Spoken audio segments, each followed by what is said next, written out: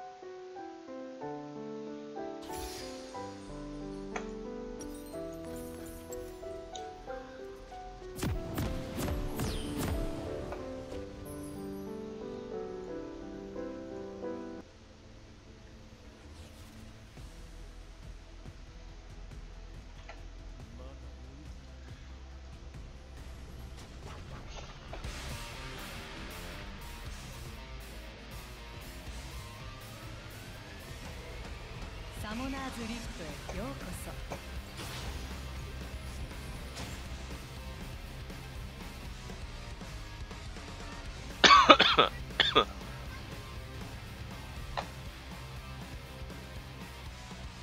ミニオン出撃まであと30秒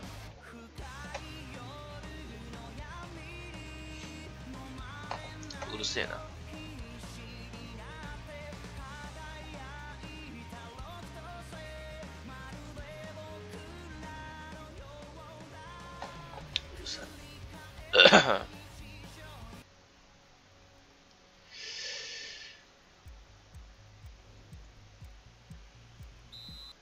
が出撃しました。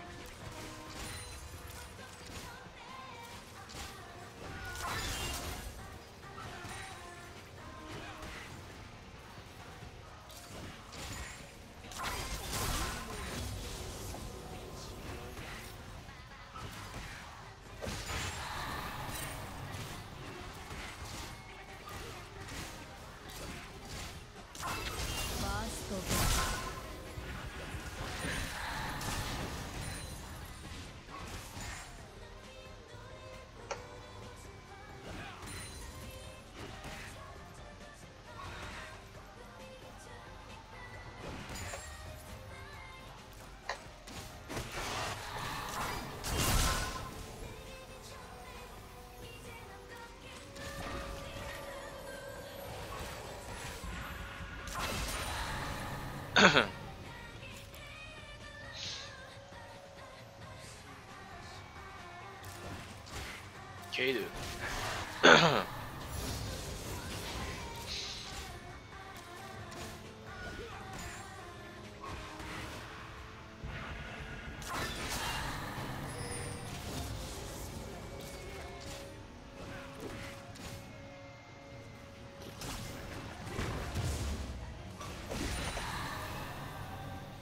와 진짜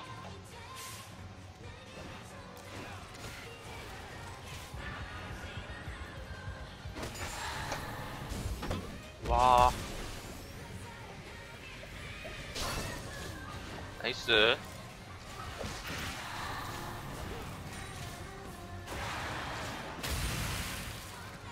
Good decision making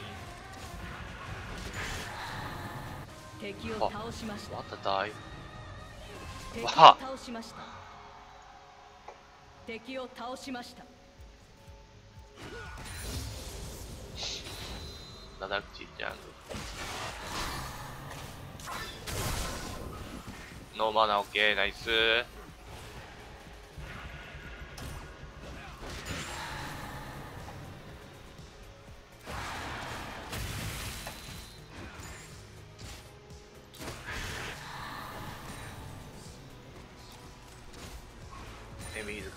塞。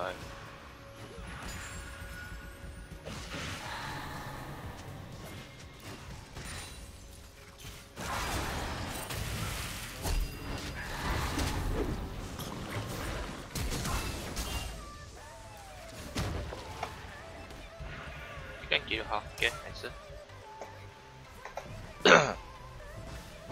哇，惊叫！Can't you?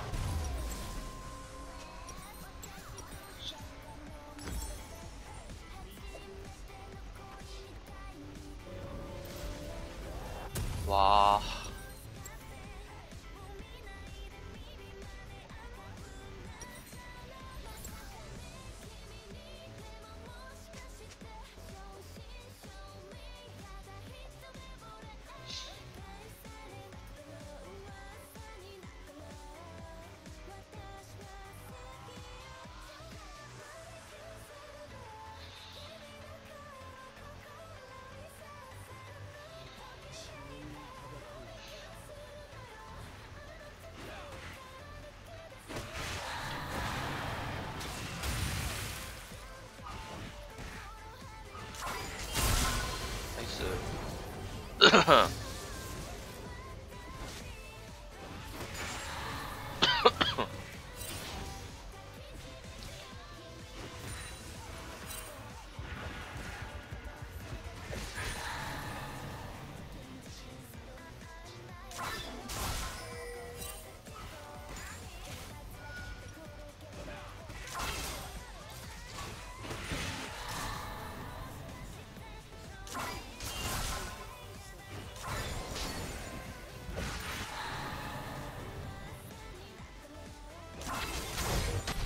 와 진 짜. 와 나이 스.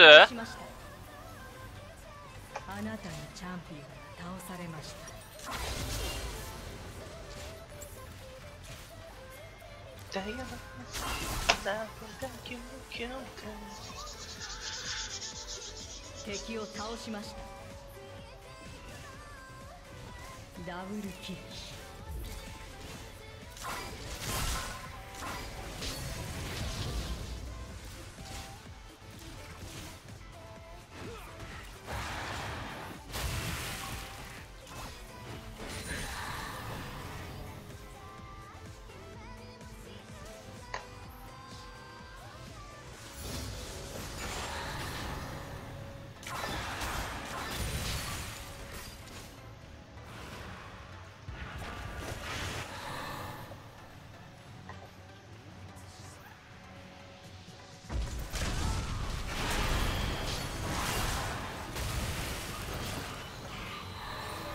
와 진짜 나이스.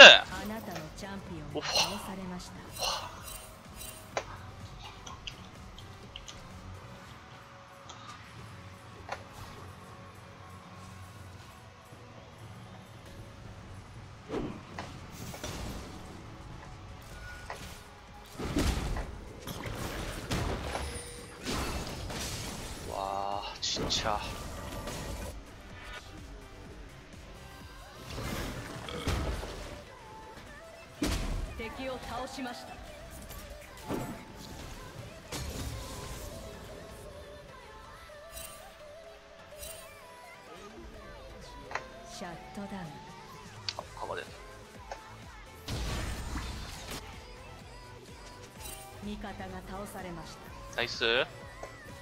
グッド TP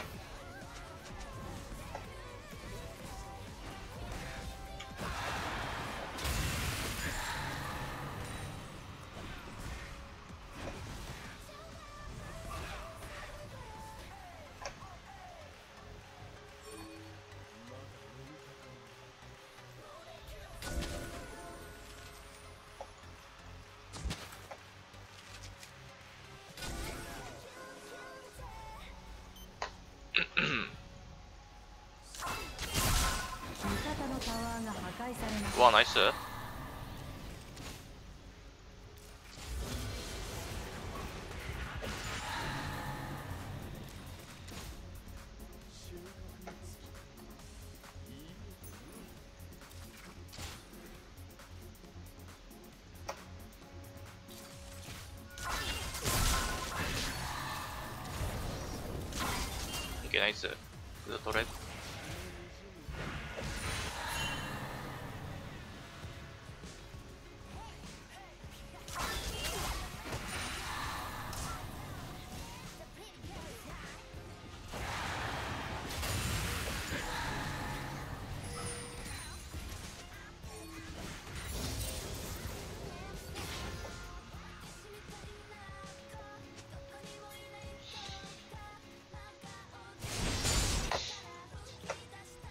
ということで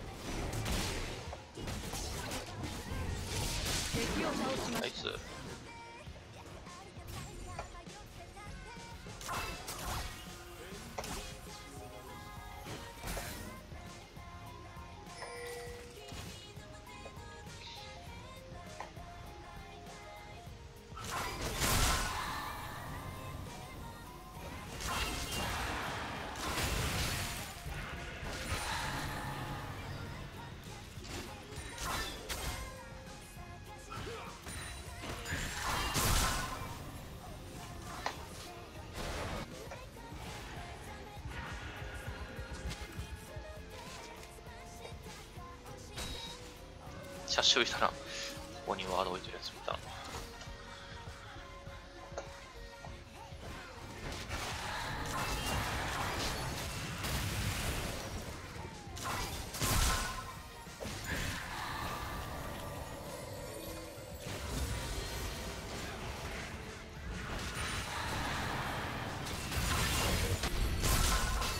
わあナイスたあーいけナイス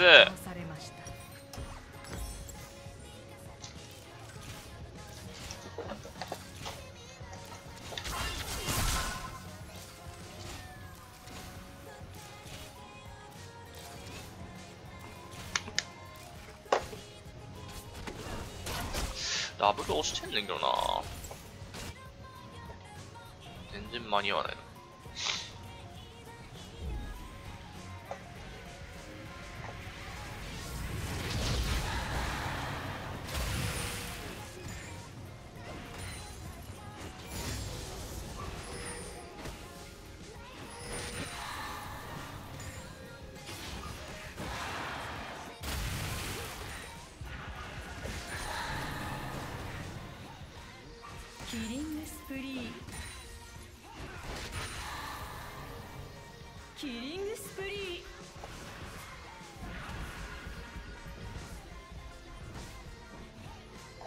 ャルバンカミング敵を倒しましたいや。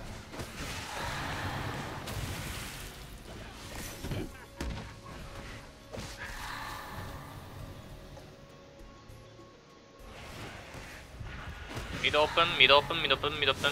ナイス味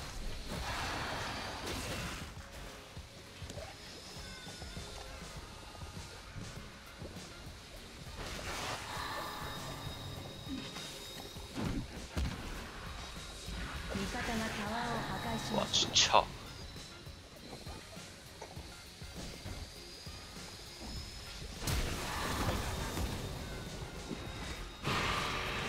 敵のナイス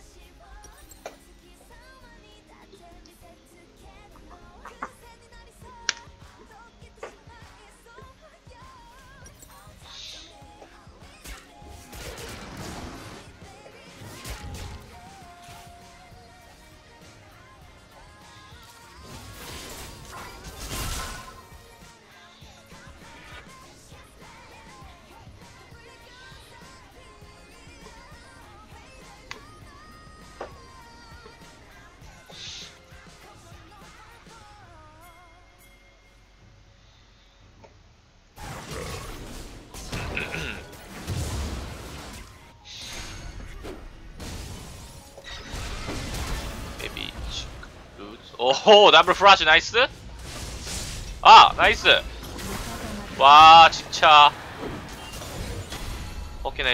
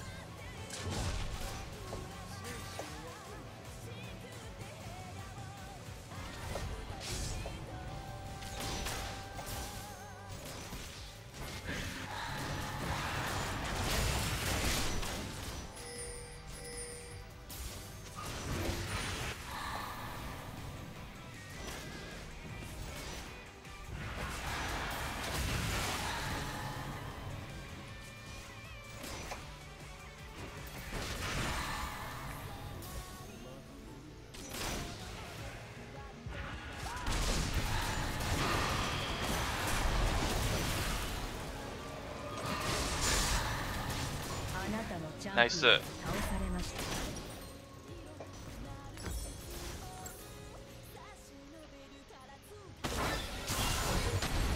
され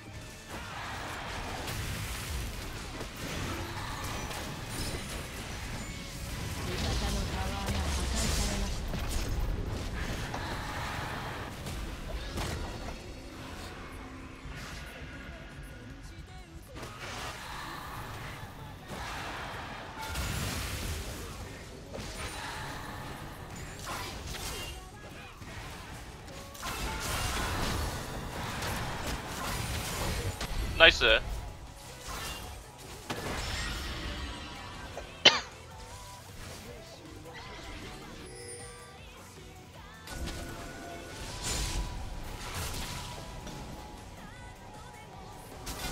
ナイス。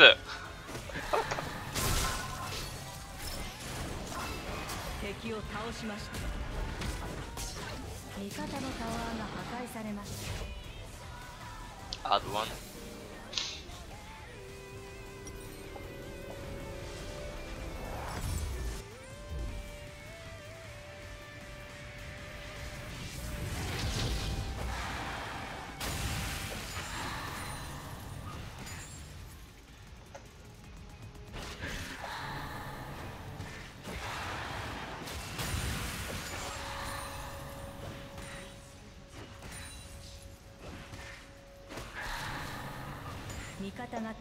破壊しました。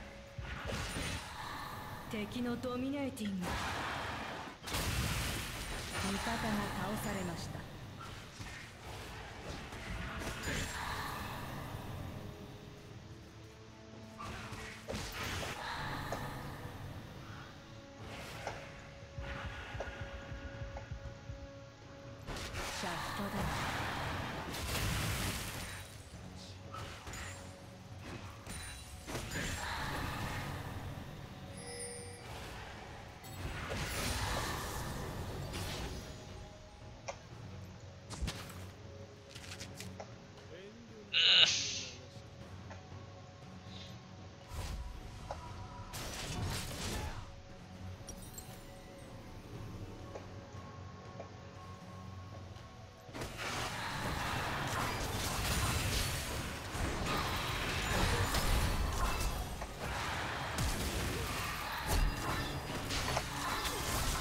ナイ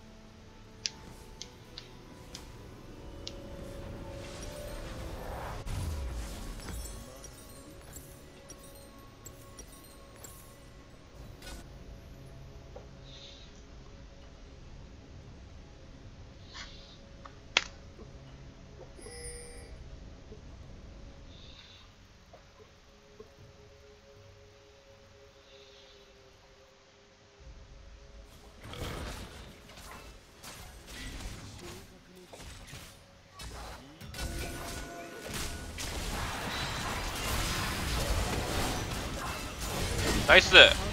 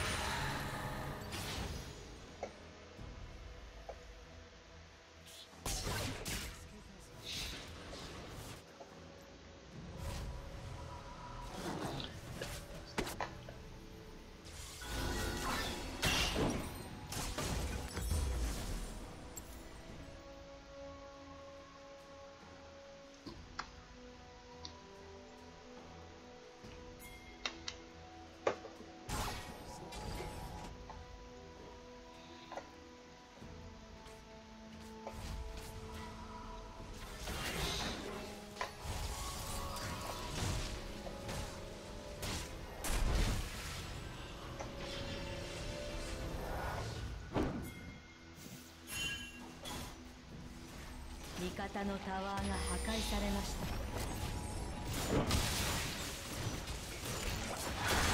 た。わあナイスダメージグッド。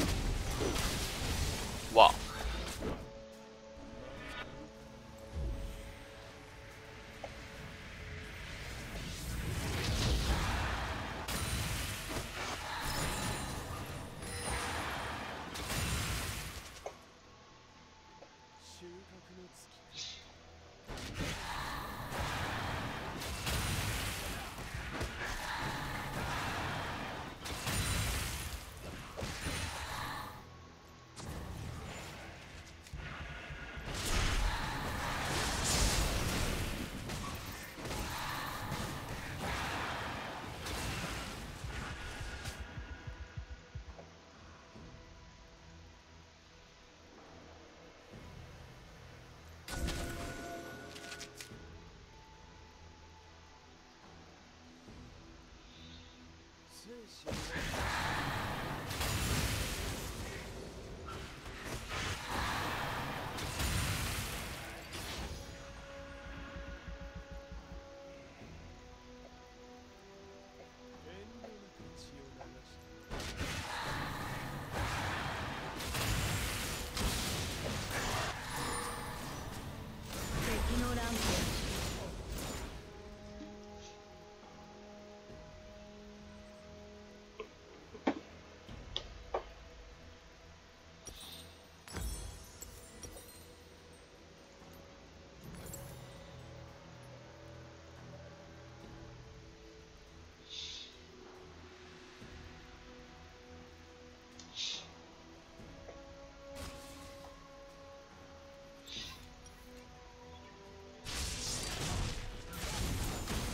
GG。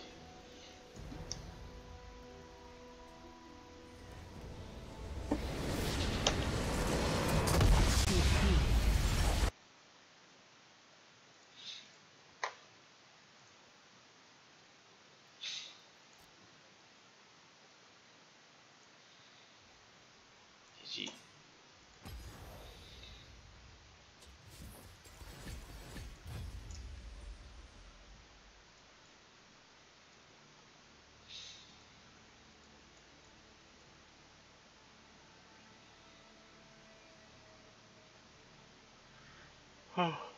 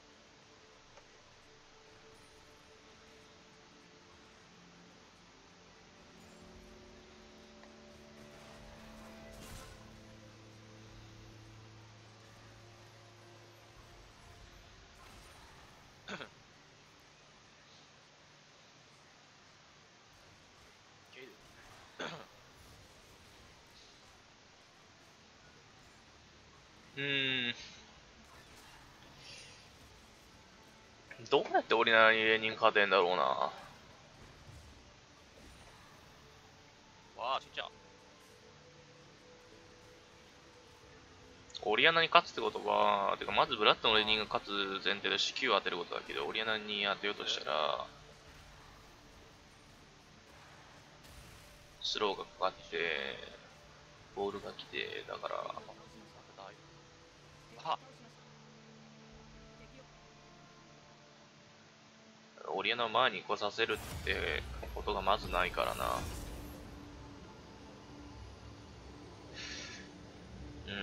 うん、どうやらオリアナに、に勝ってるんだろう。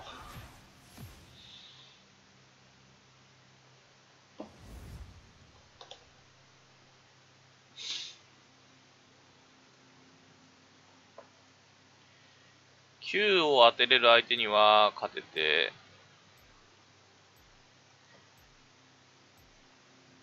ってことは、9を当てれるようにオリアナを誘導しなきゃいけないんだけど、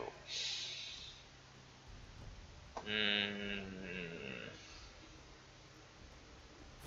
そんなことできんのか？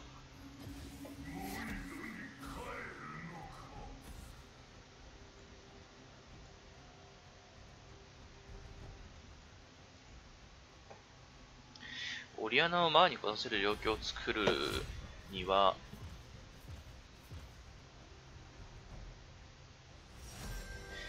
リアナの場合、オリアナが前に出るというより、ボールが前に出ればいいから関係ないんだよな。荒らしながらプッシュできるからね。ジャグを呼ぶのか。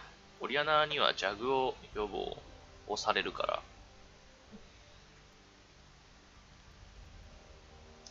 もしかしたらオリアナにはジャグを呼べばいいのかもしれない。何使おうかな。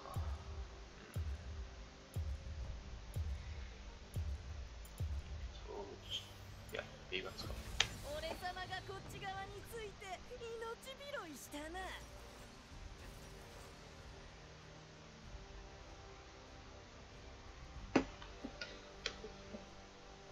たななるほど。俺に対しては、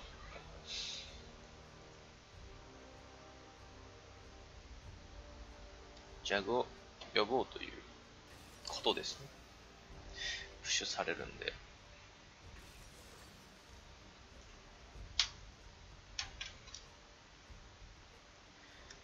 うーん、やっぱり、ブラッドと、オリアナはブラッドが勝つっていうのは難しいですね。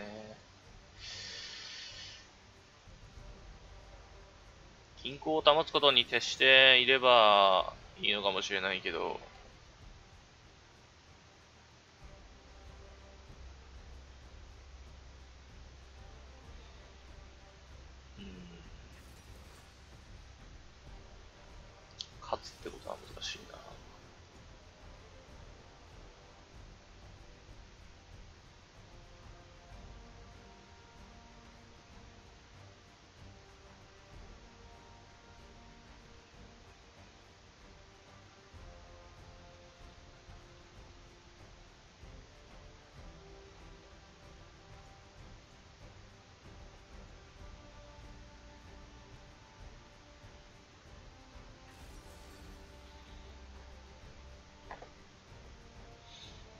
タオリアナじゃん。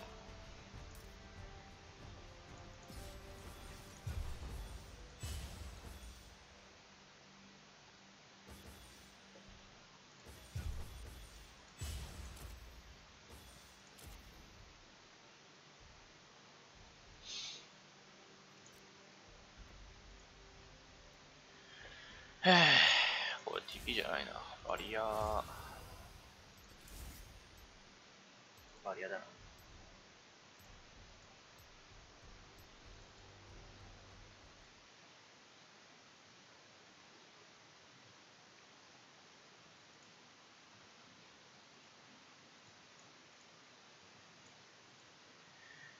オリアナ・グラッドは勝てないんで、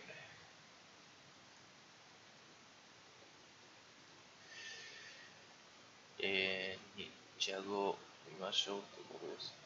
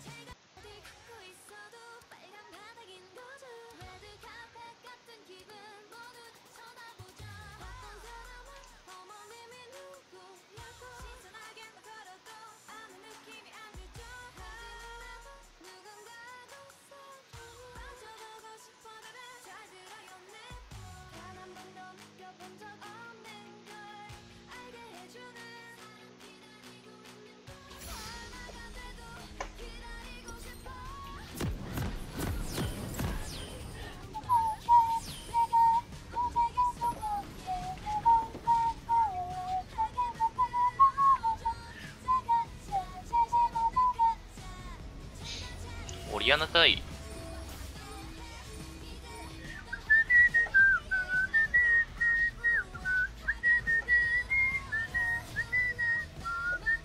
サモナーズリップへよう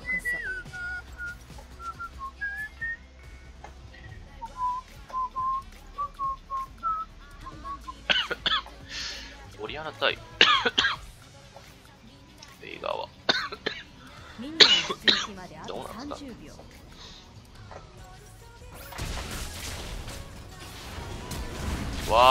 ゃーナイスまあよくね。俺はもうないだろない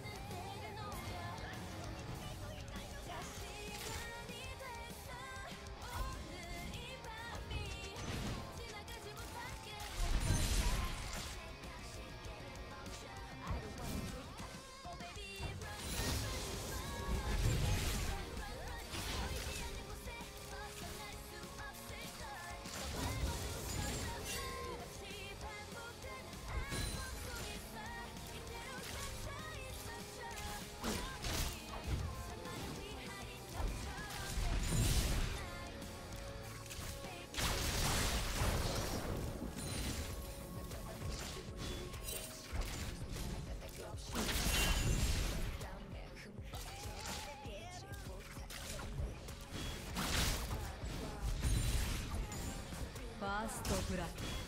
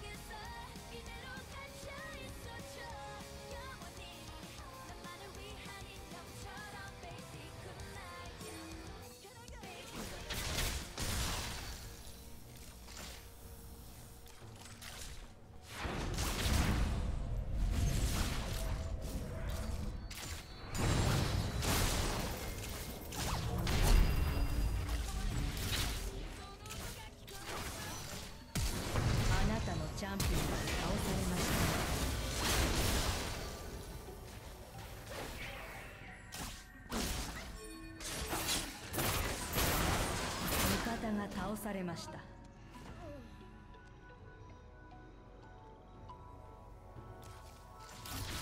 味方が倒されました。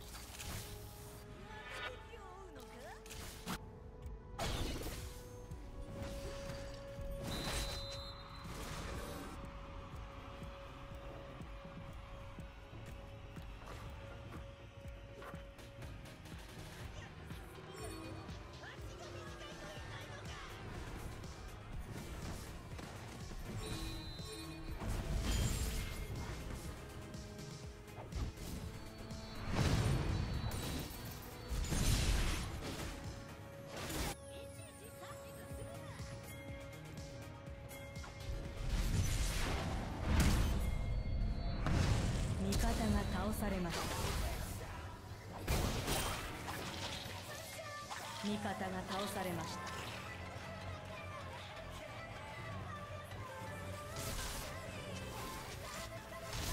力尽きました。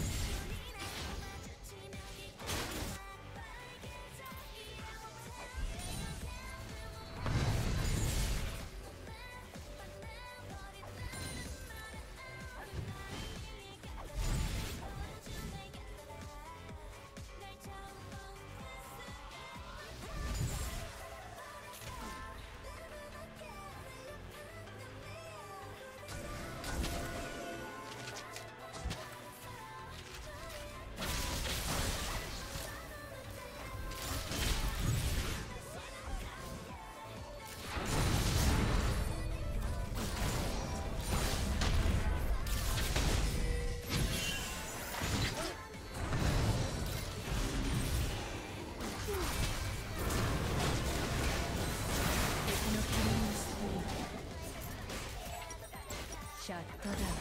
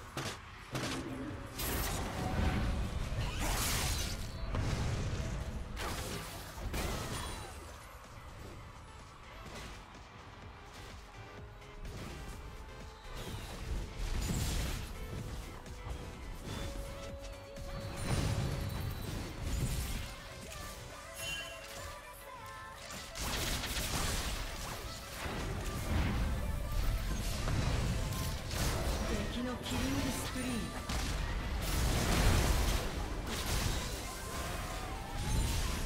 味方が倒されました。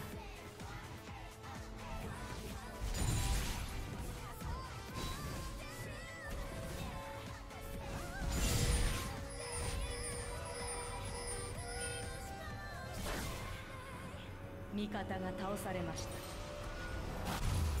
味方のタワーが破壊されました。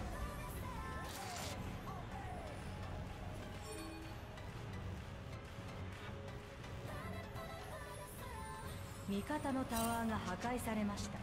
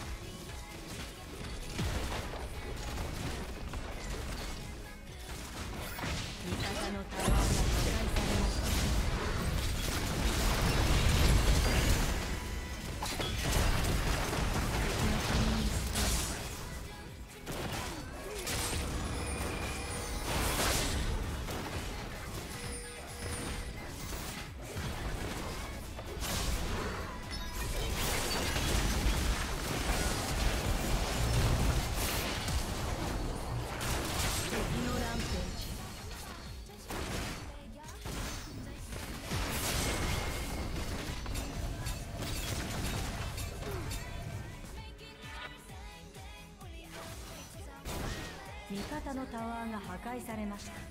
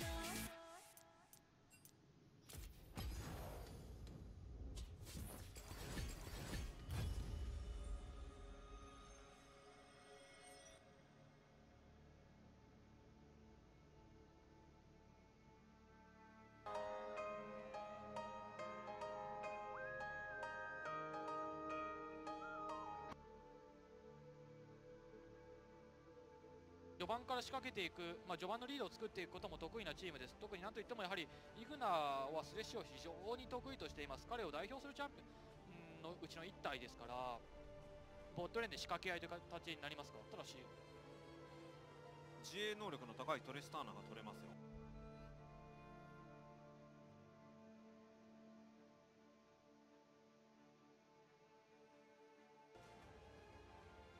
ロックしました。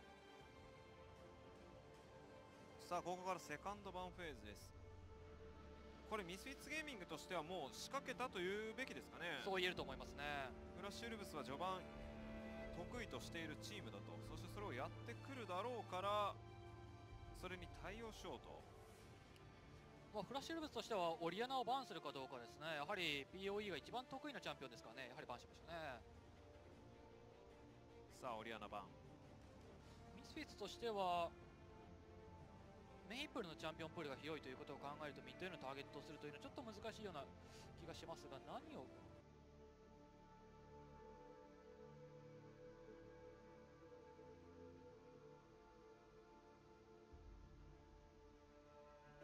ディスエンゲージができるチャンピオンというのを潰しますかねただし互いに攻め合いですがここはルシアンです探すマオカイミンナートランドルこの辺りはトップレーンであとはミッドだとルブラン。そうです。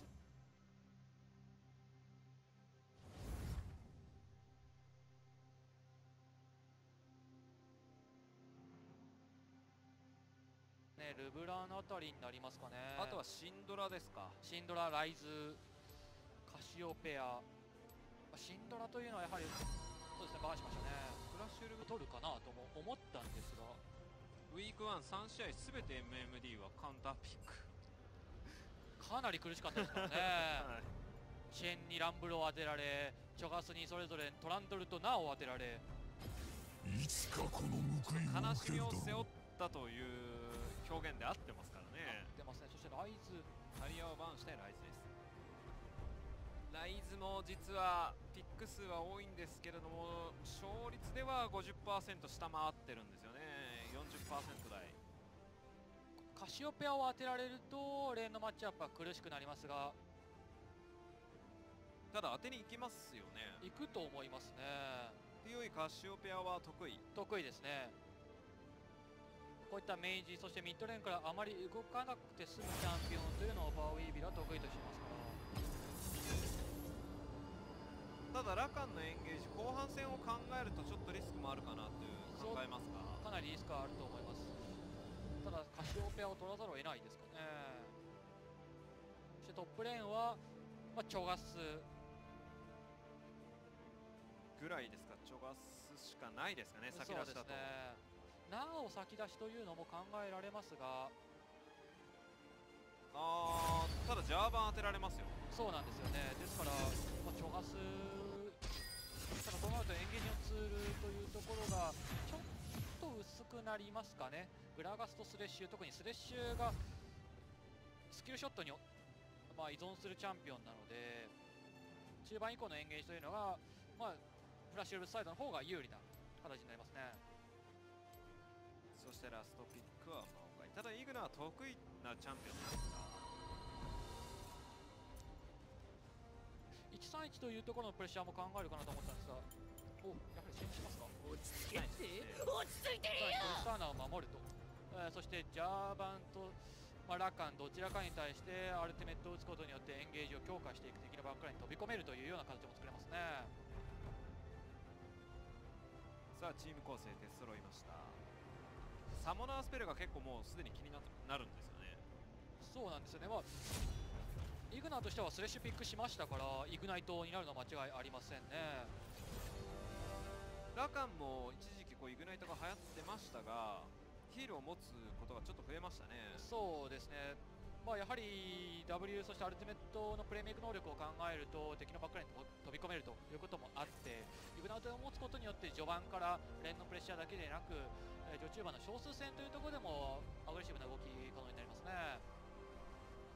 さあその上でレボロさん序盤まあボットレーンから目が離せられないのは間違いないですか？スレッシュ VS ラカンですからね。マッチアップ的にはちょっとラカンが圧倒的に有利な印象がありますが。あラカンの方が有利なんですか？そうですね。レベル1その9のスキルショットに対してラカン自由自在に剥がせますし一度避けてからそして W でまた入っていくというような動きも可能ですからスレッシュのフックトリスターナ狙うしかないんですがロケットジャンプ。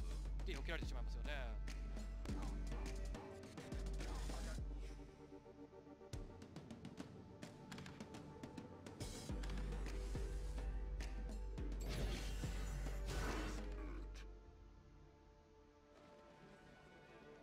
さあ始まりました。ワールズ2017グループステージ。デイ7の初戦。ミスウィッツゲーミング VS フラッシュウルブスの試合。スタートです。ただそれでも1回決めればそうですね1回決めればイグナイトもありますしちょっと面白い動きです。5人全員でトップサイド入っていってますね。一方でフラッシュウルブスは4人でボットサイドにワードを置きにかかっています。気になるのが MMD 軍の一番後ろですね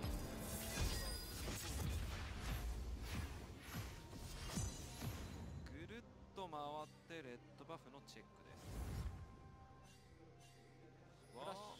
スは予測できてますね。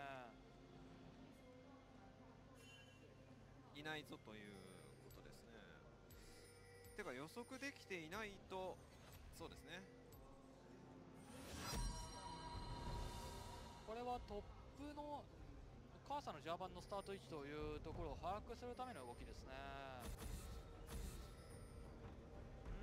でもグラガスでジャーバンって把握したい。んですこれがちょっと気になるポイントなんですよね。カーサの、まあ、ガンクのパターンというのを予測するためのワーディングだと思います。トップサイドから始められるとボットへのダイブさらにはまあカーサの場合だとレッドバフを狩ってそのままボットレーンと一直線に走っていってレベル2になったタイミングのソードアートと合わせてのガンクというところを警戒しなければなりませんからそこも含めてのワーディングだと思いますね。そして今ソードアートはボットレーンをフルウェーブにしましたね。ミニオン1体処理させるそういったあー形のレーンのコントロールですね。それが成功したのかどうかはちょっと把握できませんが。そうですね。画面に映ってませんから。経験値次第ではありますがどうでしょうか。いや取れてますね。ロスはないようですハンさんはもうすでにラステッドが3になってますから。ロスはなかったようです。カースト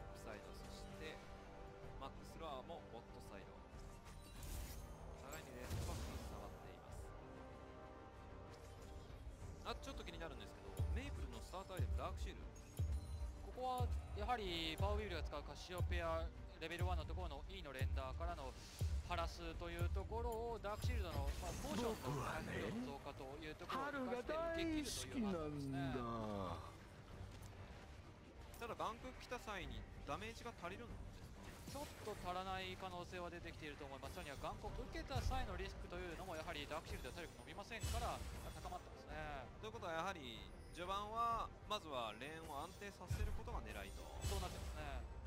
さらにはプルウェーブを作ったことでフラッシュルブス当然こういった形になりますよね。プッシュされる状況になりますよね。なりますね。ただこの状況をフラッシュルブスは自分たちで招きました。であるならばカーサがこのタイミングレベル3のタイミングでボットサイド側にポジションを取っているべきなんですがそういうわけではないですねそしてマックスロアはボットサイドケアしている動きですよね。そうなりますね。カウンターガンクというのも一つ考えながらのポジショニングですね。ここでもトップサイドです。クルーゴを狩りに行きます。眼光は1周目ではするつもりはなかったということですか？そうなりますね。うんちょっとカーサらしくないと。いう印象は拭えませんよ拭えないですね。ただまあやはりジャーバン大豆ラカンとそれぞれミッドとトップに対してガンクが可能な組み合わせになっています。トップレーに対しても序盤であればチョガス相手でもガンク決めることが可能だと思いますが全てのレーンに対してプレッシャーかけられますね。フルかから戻って。ただ警戒してますか？これは。ミスイッツゲーミングも。カーサリコールそしてボットサイドにディープワードを展開しましたミスイッツゲーミング。やはりラカンとジャーバンとの組み合わせというのを相当警戒してますね。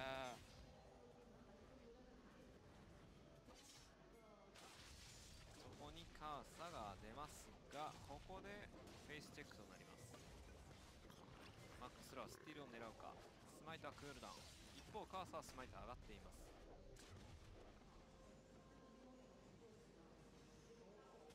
相当ボットサイドをケアしたワーディングですね。これによってボットレーンハンサマーのまあ序盤のザヤのレーンの強さというのを生かして押し込みこ押し込むことができています。イグナーがミッドレーンとロームするとそういったルートの確保もできてますね。どうなんでしょうかね。こうミッドに行った方がいいんですかそれともこのままボットレーンをプッシュした方プッシュしてプレッシャーかけ続けた方がいいんですかね。うんやはりスレッシュというところを考えるとこういったキルを生み出せるポジションを取った方がいいと思いますからミッドレーンへとガンクしていくというところがやはり狙いどころになるのかなという感じしますけどね。もしくは敵のジャングルへと入っていく。マックスラーと一緒に動いて入っていく動きですね。そうなると7分の、まあ、セカンドのブルーバフこの辺りに入っていくような動きがあるんじゃないかと。それが狙いになると思います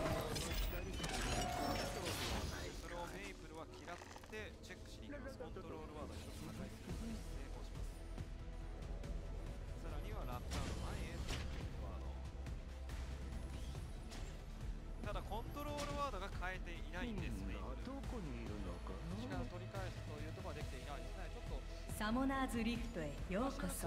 このピックですがちょっとパッシブですね。思った以上にカーサーが動かない。国内リージョンであればまあリージョンであればミニオン出撃まであともっとアグレッシブ30秒。ですね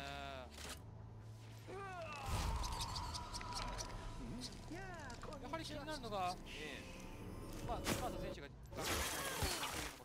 がソードアーツ選手がフルウェーブを作ってそのまま連のコントロールを失い続けているといいうところもやはりちょっと引っかかりますよね。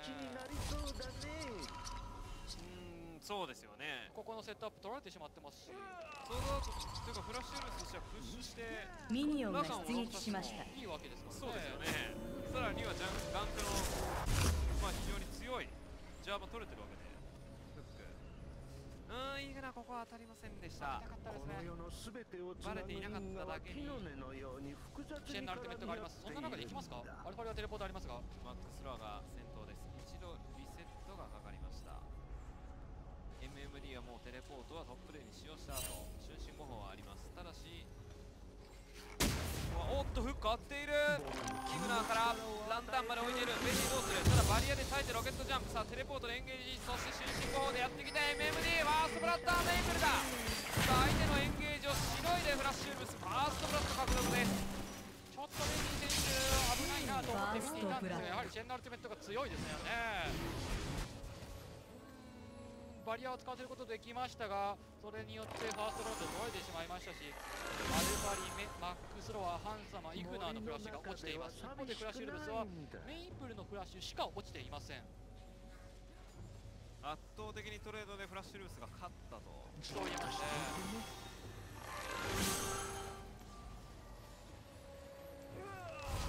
まあ、こうなりますよね、シェンのアルティメットから、まあ、前世紀よりもアルティメットのシェーブ落ちたところに、やはり序盤のダメージ相当吸収できますから、根っこが伸びて履けなくならなければいいけど。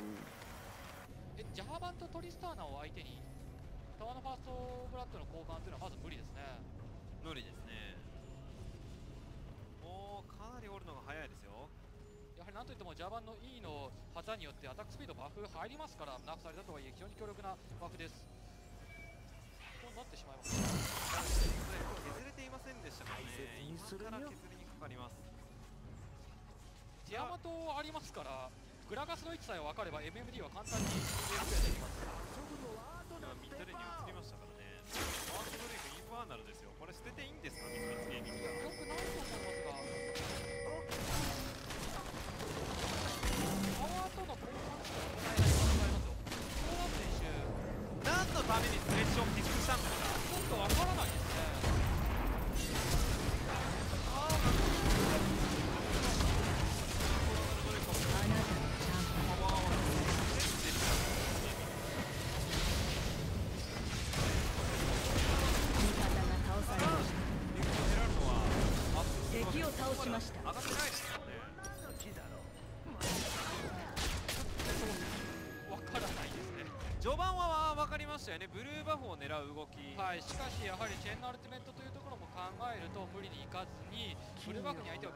まあ、縛り付けている間にマオビビ選手のカシオペアがミッド周辺のコントロールを取って、まあ、メイプル選手のパンも、まあ、阻害するのかなと思っていたんですけど何か仕掛けましたからね。ゲームプランがミスフィッツとしては、まあ、理想通りにいっていないというのは明らかですね。一方でフラッシュウルブスとしては、まあ、彼らもちょっと別に自分たちで試合を作りに行ったような行動はしてないわけです。相手のそうですね。仕掛けをいなしただけですから。マクロ面でのミスをついていってるだけですからね。ここから作らなくては先手は取れませんよ。しかしデビッド選手が今回ティアマトラッシュすることができボットのファーストは先に破壊することができています。テレポートも上がりました。おっ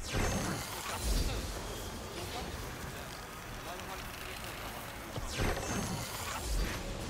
からここマックスローはトップサイドから離れることはできませんね。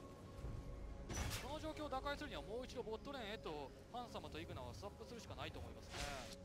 あまりにも数的な不利というところがトップレーンで影響してきますからね。いやそのままトップレーンに行くよねもうそろそろアルファにテレポート上がりますからね。いやーただに視界を今コントロールワードを置いてますけれどもテレポートの差でこれ全てクリアされますよね。されますね。ただしなんとしてもちょっとコントロールワードの数が、まあ、自身のジャングルに置いているというところもあってリバーであったりそしてトップレーンの、まあ、一番重要なゲームワードというところを削っていませんからまだイーブンな状況であるの間違いないです。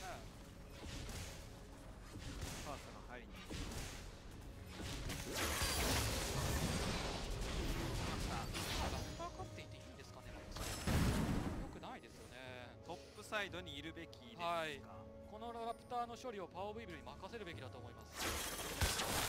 あーこういったタイミングっていうのはジャラートップサイドの。はい、あのアルファリのテレポートが上がるのを、まあ、我慢していたと思うんですが、上がりきったタイミングまではトップサイドでポジションを取り続けなきゃならない。やっぱりグラガスアルティメットによるディスエンゲージがありますから、相手に仕掛けられたとしても状況を、まあ、リセットできます。一方でグラガスがいなければリセットできませんから、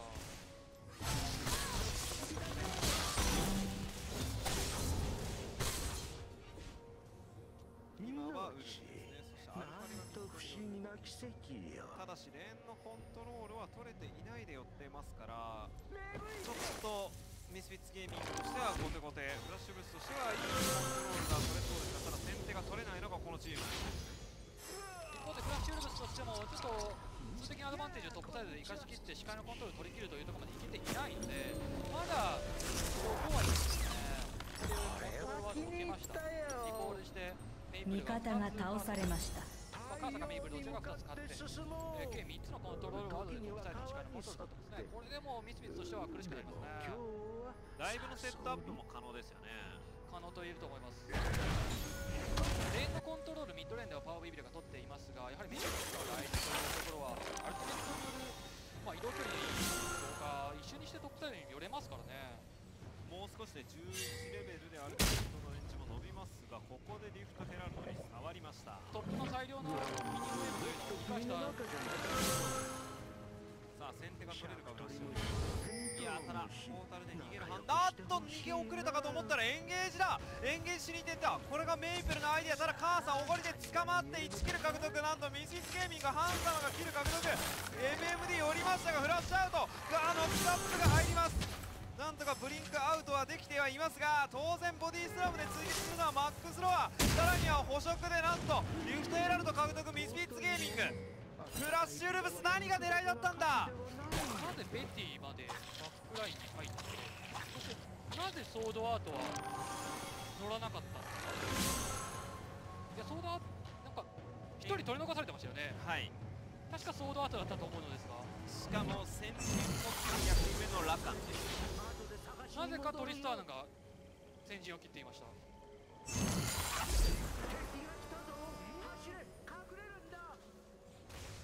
ワールズの呪いでしょうか。ちょっとそれぞれウォーリアーができていたタイミングですしメイプルアビサルマスクができていましたから、まあ、仕掛けていくというのも伺えますがよく分かります、ね、ただあまりにも仕掛け方が雑すぎましたね。レイが来るようです。ここですね。逃げるかなと思いましたね。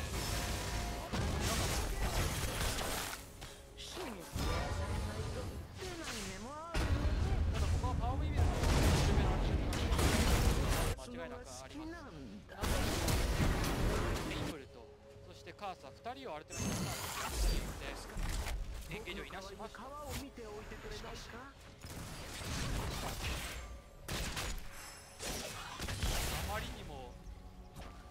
まあひどいと言わざるを得ないですね。乗らないのであれば俺に夢中で挟み込むようにエンゲージする必要がありましたよね。そうですね。ポジションを変えておくべきでしたよね。なぜラカンがあのポジションを取っていたのかというところです。じゃあじゃあありませんしね。そうなんですよね。そしてニフトヘラルドを使ってテーブルに取り戻しましたゲーミングなくなりましたフラッシュウルブス。味方が倒されましスノーボールがチームなのかーデントセンサーは先に変えているんです。だからこそ、まあ、集団戦仕掛けちょっと TSM 戦とあまりにも違いすキャ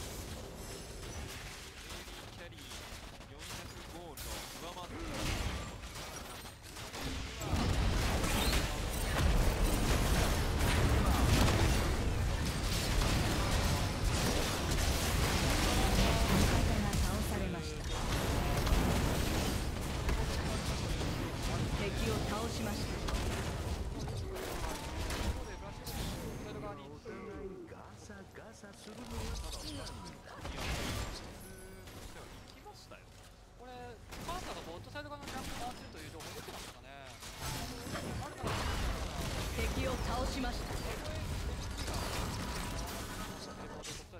も質的なアドバンテージというのは相手に取られませんのでああなるほどみんなこれをということ使ってたんはカーサもボットサイドにあり故障を取ってはいまいけない時間帯であるとプレッシャーかけることを目的とするのであればトップサイドにポジションを取らなければなりませんちょうどしっかりとただ。ベッティ選手もソーダート選手も連引き気味にあのタワーを殴るようなポジションを取っていませんでしたからカーズ選手のポジションと連動した形でトップレーンのコントロールを取っていたのは間違いありませんね。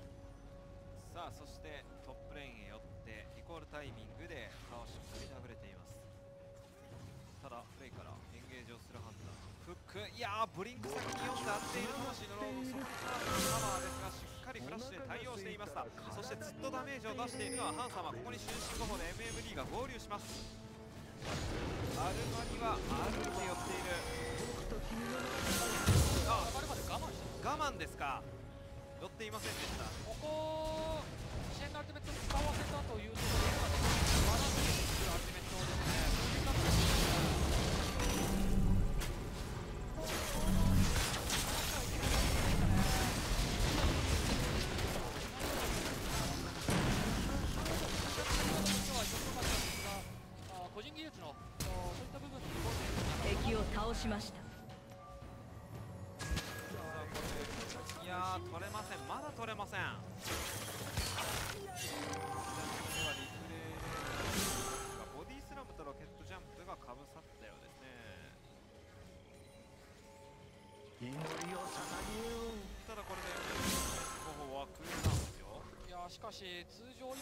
だとちょっと話はそれますが、カーサが使うジャーバンシンダーハルクがええ。コアアイテムなんですがウォーリアーなんです。ウはい。ォーリアーなんですが、ここまで1キルしか生み出すことができていません。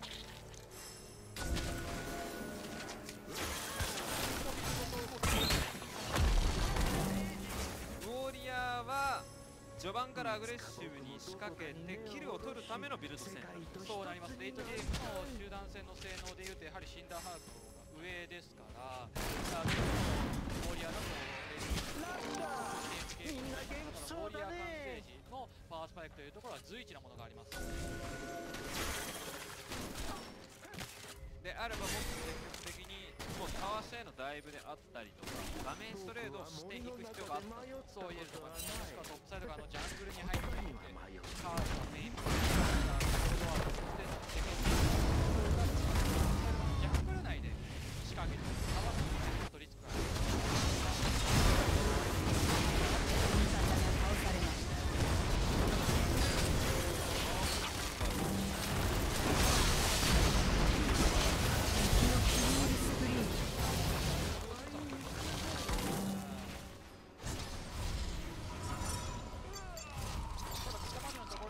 戦のアイテムこちらダブル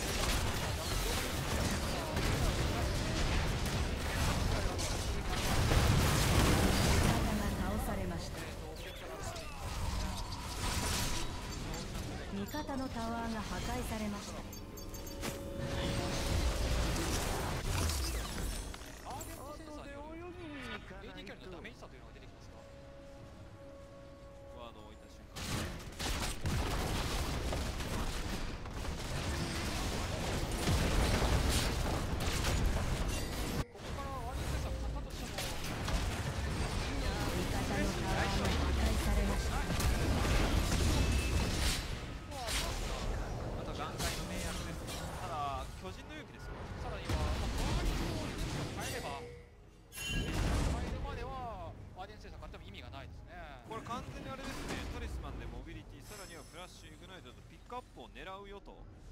った動きですが、まずちょっと回数としては少ないですね。ピックアップを狙うならどの辺りでピックアップを狙うといいっていうのがあるんですね。例えばリバー周辺もしくはミッド周辺であったらあとはジャイ相手のジャングルの中でいろいろ場所はあると思いますオブジェクトの近く狙っているオブジェクトの近くの相手のジャングル内というのが理想だと思いますがただキャインジンとバーストダメージが少ないチャンピオンですから。ああ確かに。DPS 型ですよねスレッシュのピックアップの狙いとはちょっと構成合わないですね。ミッドメットからダメージであれば、このペアですかね。チョガスがやはりアルティメットのバーストがありますから、チョガスの周辺で起こしていくにはちょっともう時間がかかる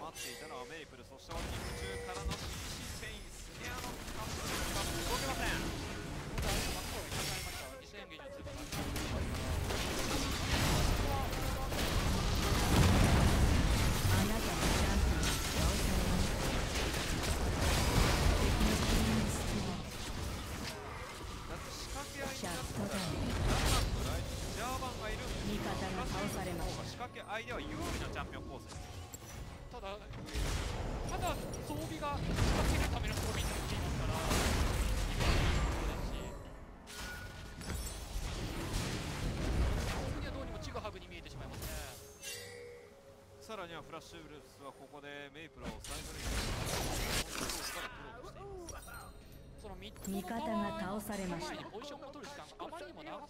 敵のアンストッパブルおっと見えているアルファリがただレーンのコントロール取り戻し始めましたかワーモグを買ったことによってダメージのトレード有利に味方のタワーがが破壊されましたでそこを生かしてボール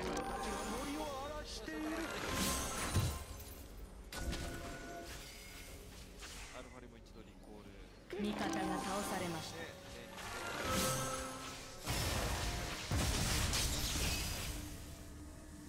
トップのウェーブのコントロールも取れていますからフラッシュとしてはミッドに対してプレッシャーをかけてバロン前からミスフィッツを高くかけられますしさらにはバロン周辺の視界のコントロールを取り切っていることからもベイトの狙い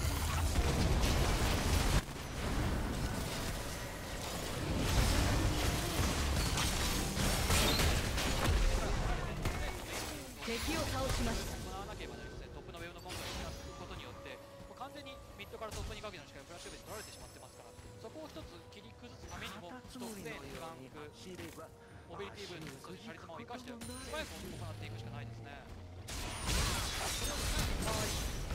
メイプルが自由にプレッシャーをかけ続けどんどんどんどんミスフィットの支配が削り取られていく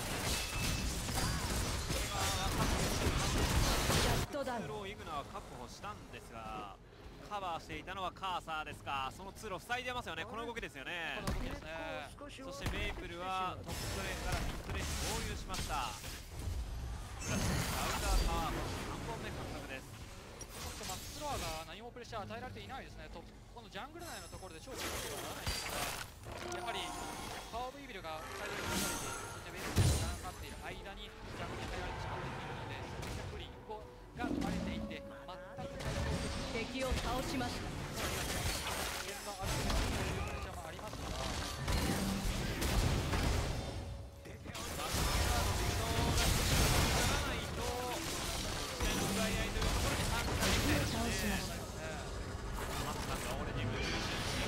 またしてもこれはロックアップコンボを決めての先駆けマックスラーまで捕まえてるラッシュルズバロンベイト成功チキル獲得そのままバロンに変わります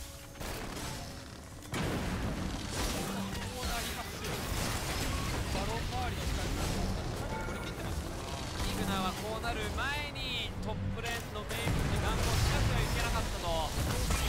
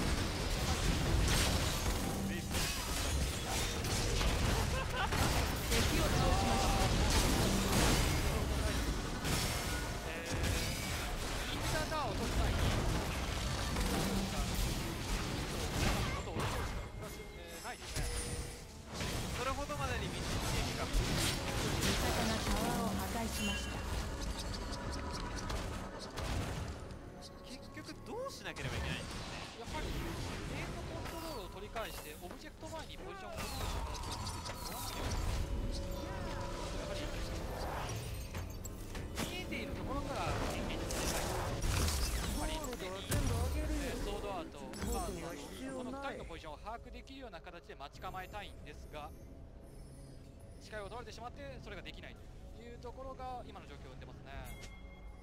それはまずカーサ VS マックスロアのところでカーサが上回るそしてメイプルがサイドレイクで出るのに対して POE が取ったタッチオベアというチャンピオン得意不得意なチャンピオンだからその2つでこの状況が今起きているそうなりますねそしてそこを打開できるはずのスレッシュが全く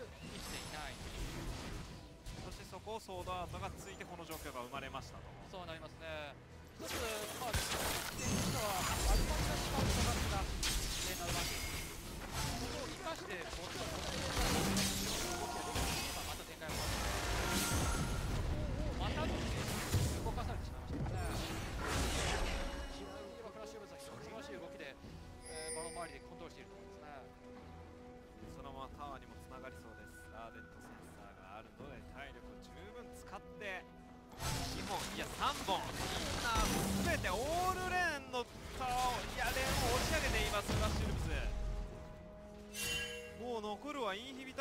とネクサスタワーのみです。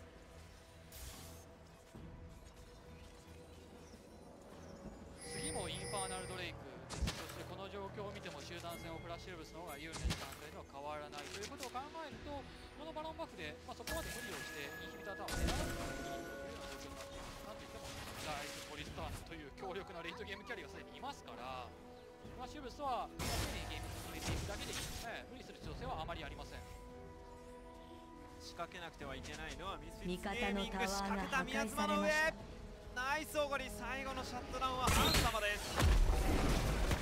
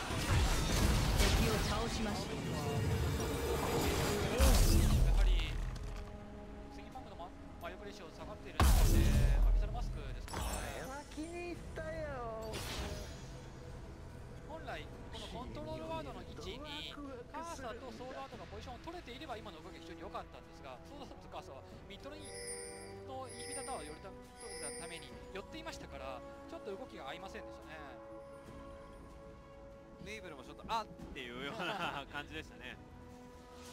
いるはずだったんだけどまあしょうがないやみたいな感じ。そうでしたね。えっとカーサどうするって相談すればあいる感じでそして残り2分でインファーナルトラ味方がタワーを破壊しました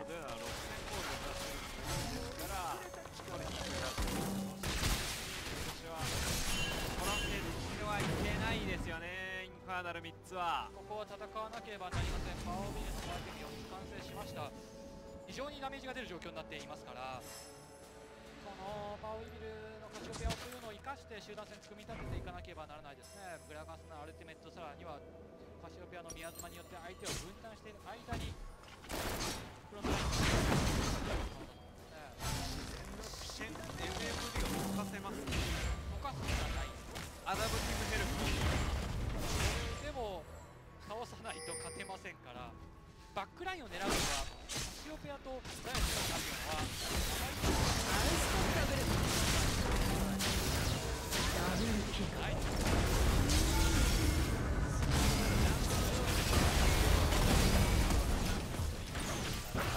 マックスフロアが100%。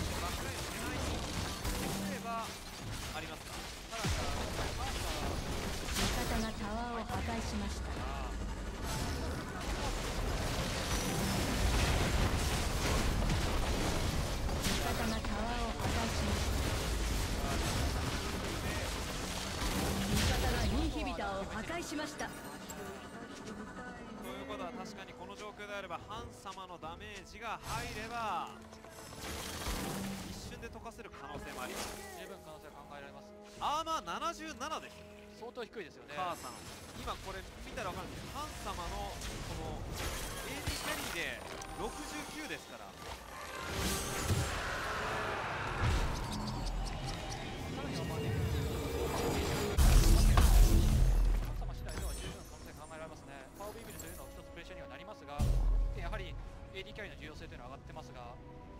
ただ隠れて触ってますねメイプル。いやインファーナルドレイこれで3スタック目です。それを渡してミスウィッツゲーミングここが勝負どころか。バロン前不審を取ったただ視界をもう取っていましたウラシングズフライヤーブルーでチェック。触っていないことを確認している。当たらなくていい。下がります。フラッシュルブスうまいですね。ないですね。そしてこの間に MMD がボットレーンのウェーブのコントロールを取っていますからね。何かあっても起こさなくてはいけない。コントロールワールドを生かしてバロン周りの視界のはしっかりと取っていましたから。味方がタワーを破壊しました。いや旗で確認しましたよ。いやーシェンが没頭している。MMD が押している。さあ触りました。味方がタワーを破壊しましたバロン触った。終止後カーサー入って捕食で抑えました。バロン獲得そこからこれに夢中で仕掛けていくのはソードアートただキルを持っているのはなんとミスイッチゲーミング。陣形は乱れていない。さあ1キル獲得マスターショットで急激にしながらですがここでようやく取りに来ますからいや来たかと思いましたがラプチャー届きませんでした。いやしかしこれで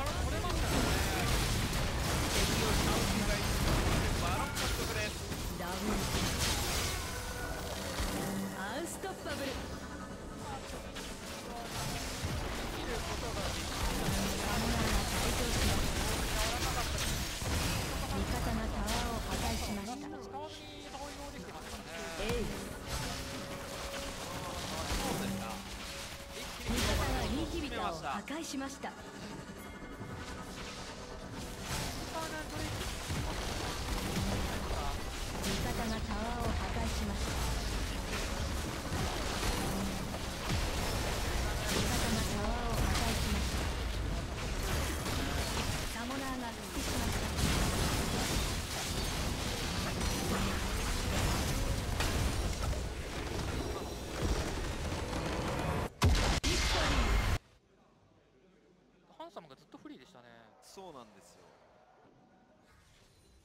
ちょっとソードアートとあのイグナーの対決が面白かったですね。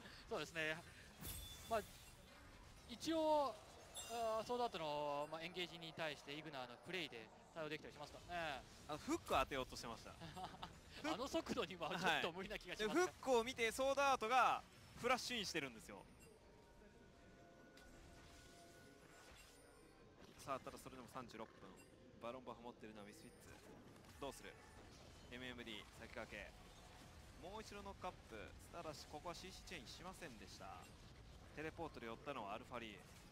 MMD をフラッシュを犠牲にしてテレポートを使わせましたね、なるほど。グローリー発動ですが当たれる距離じゃないか。イグナうーんブリンク上がっていました。ソードアート。ナイス判断です。宮妻を敷いてタワーを狙いに行きます。ただバックラインにカーサー。カーサー。ただこのポジション非常に怖いぞフォーカスされればというシーンですがフックを当てた。さあそれを見て前に出ていきますがサイレンス動けない宮妻の上さらには。1キル獲得ミスフィッツゲーミングフラッシュウルブスエンゲージをしたんですがエンゲージできない。アルファリのナイスサイレンスでした。そのままインヒビター獲得はミスフィッツゲーミングです。このままボットのセカンドタワー狙いますね、帰らずに行きますか？さあインナータワーそしてインヒビタータワーもうこれいけるんですか？いけそうですね、ソーダートがいない。エンゲージが得意なラカンがいない。ハン様がずっと殴れています。アルファリがフロントラインとしてかなり効いてますね、そして2インヒビター獲得はミスフィッツゲーミング。フラッシュウルブスはキャリーが全くダメージを出せる形ができていないですね。メインプルもボイドスタッフができていてベッティもドミニク・リガードできている状況なんですがフロントラインのアップデートすらできていない全く勝てないビッグ A 相手のダメージを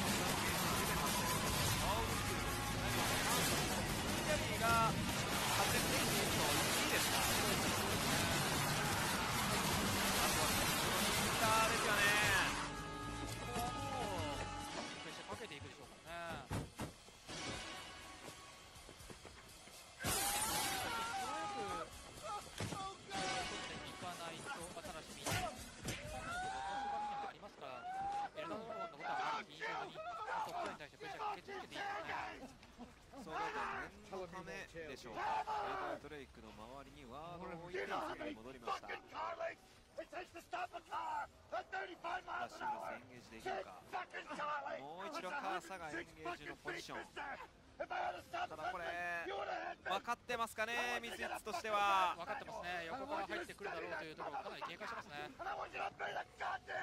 ポジションを変えますというかエルダーに行きますか。エルダーのポジション取りましたね。エンダーだとミッドとボットのウェーブに対してフラッシュブスは対応できますがバーには事前にしっかりとしっかり取ってますからね。ここ効いてますね。それをただ取ると見せかけての反転でしたが引っかかっていません。視界は取れているのはフラッシュウルブス。逆転のチャンスがあるか。あるとすればここ。